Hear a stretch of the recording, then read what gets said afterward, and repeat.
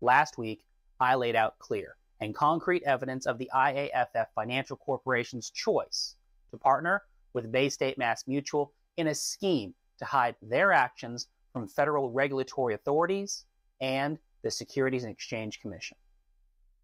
Now, the part time president, he's at it again. He's trying to deny the hard facts and brass tacks evidence, and he's trying to distract you from the headline news of the week. Did you catch it? Have you heard?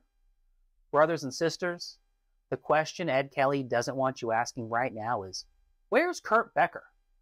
Where is the Chief Operating Officer of the IAFF Financial Corp?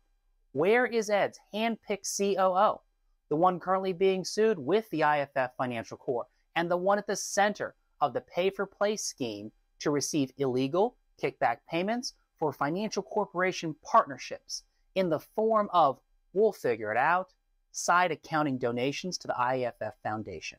Where's Kurt Becker? Here are the questions I think you deserve to have answers to. Is it more likely than not that three female employees of the IAFF and IAFF Financial Corporation filed workplace harassment complaints against Ed Kelly's handpicked choice to run the IAFF FC? And is it more likely than not that Kurt didn't resign as Ed told the executive board, but rather that his effective immediately resignation was just another same day no due process de facto termination, fitting the pattern of the part time president appointing unqualified cronies who rapidly find themselves unable to fulfill their basic job duties. Brothers and sisters, it is more likely than not that the ongoing SEC investigation, lawsuit, and workplace harassment is why they're trying so hard to cover up Kurt Becker's departure and why the leadership is once again trying to distract you with fiery words about the mission rather than to take responsibility for their actions. Ed Kelly didn't mention his COO's separation one time in his letter denying the facts of the SEC investigation. But the firefighters I know, the labor leaders and union members I've spoken to, they aren't easily fooled. We're firefighters. We know what a red flag is.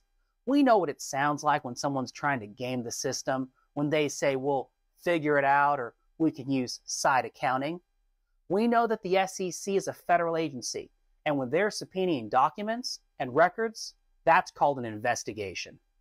Brothers and sisters, our union's reputation is on the line, and that's why I'm sharing the truth with you.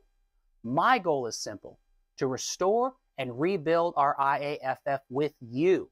It's time to end the rhetoric, own the truth, and lay out a true vision for trade union leadership. My name is Braden Frame, and I'm ready to be your full time IAFF General President. You are the IAFF. Now let's get our union back to work together.